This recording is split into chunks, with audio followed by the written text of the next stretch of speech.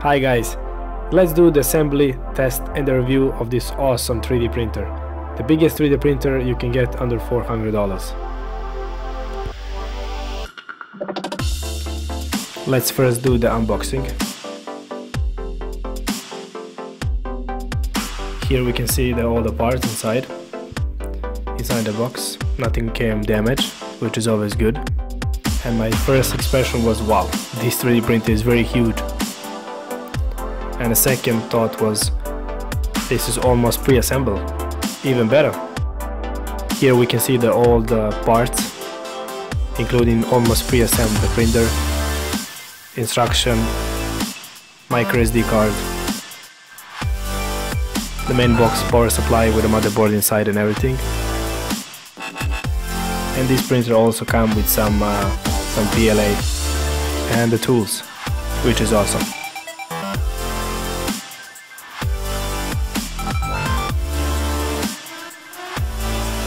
some close-up detail here to show you how this thing looks. Here is some uh, instruction that came.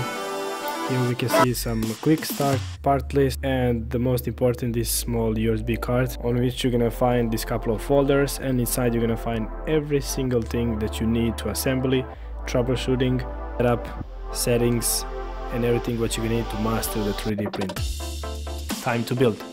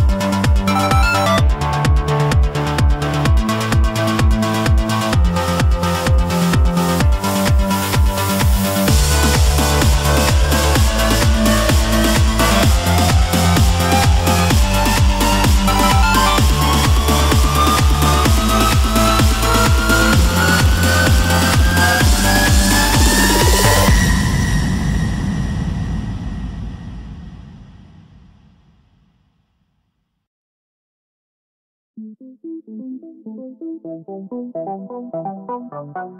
you.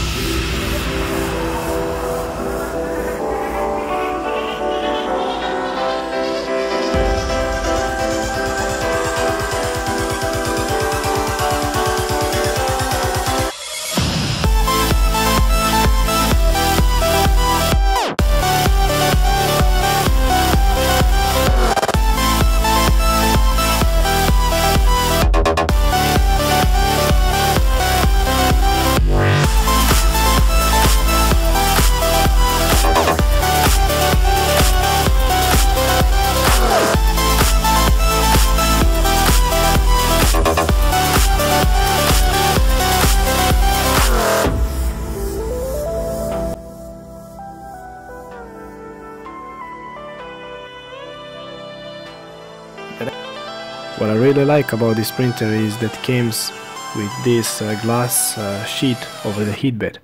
So it's very easy to just take out the glass with the whole model, take it out, clean it, uh, retape it and put it back on. Which keeps uh, risk of uh, misaligning your bed minimal possible.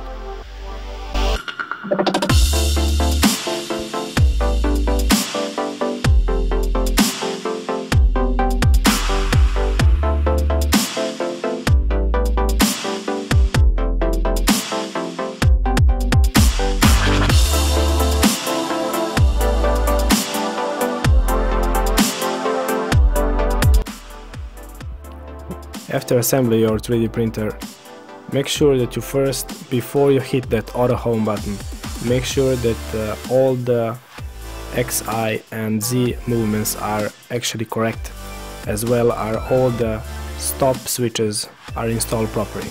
If you just hit the auto home button, you risk that your printer just go to different direction or even don't, don't even stop when it should be, which can uh, lead to uh, breaking the printer parts, ripping the belts off, even even damage the engines. So make sure that all movements are correct and everything is fine before you hit that auto button especially the distance between the nozzle and the heat bed uh, let's say if you just uh, if you just click on it auto home and even if uh, ZX switches are on and uh, your printer will go much more down than it should be which can uh, damage the nozzle or even some other parts on the 3D printer, especially the motors.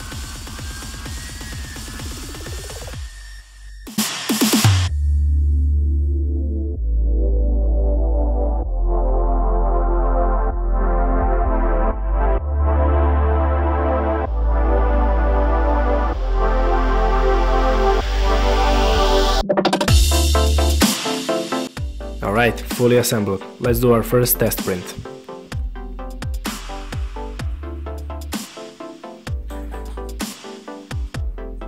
My first test print uh, is always a test cube, 20 by 20, 0.2 layer height, 2 layer stick for a 0.4 mm nozzle, and that gives you a pretty good picture about how your prints will look like. So when I satisfied with the quality about this cube, then I continue to do more and more prints. If I'm not, then I go back to the print leveling and settings until I find the perfect settings for this printer. I gotta say, it's looked pretty good for now. Let's do the next sprint and that's Pikachu.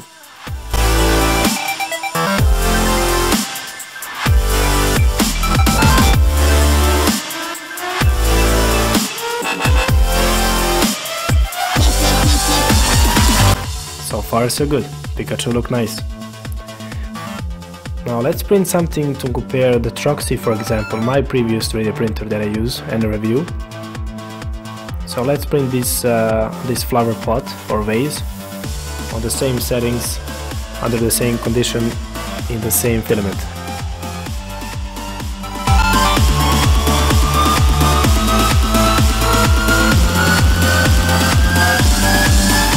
Well, definitely CR10 gives better results.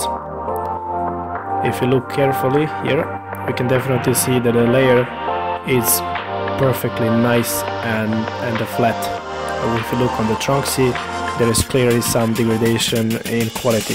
So definitely CR10 is a better.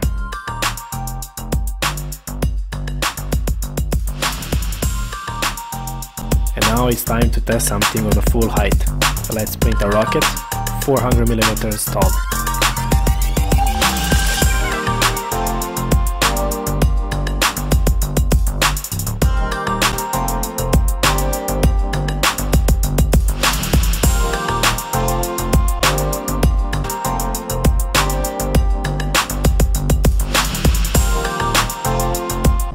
15 hours, this is the result. Even at 0.2 resolution, this rocket looks awesome. Even on the full height, which is 400mm, this rocket looks amazing.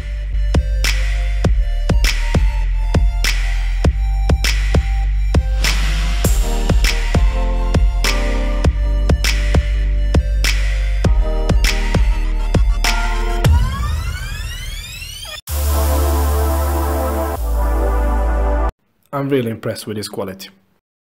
This is a macro close-up shot in the middle of the rocket. I mean look at these layers, they are perfect. Let's I talk about it. the build quality for a minute.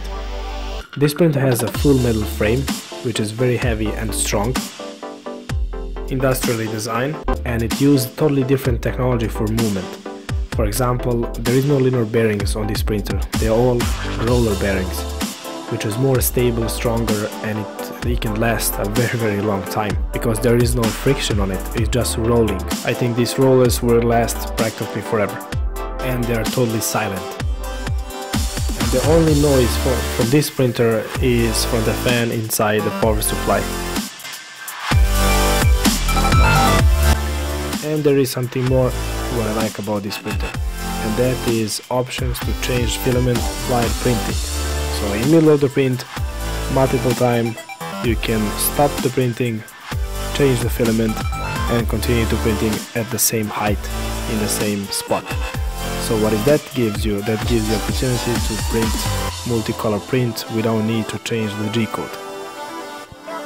So just pick up the object that you want to print stop where you want, change the filament, continue to print and do how many times that you want and you can get pretty nice results even with uh, without any changing of G-code or buying expensive printers and so on and so on.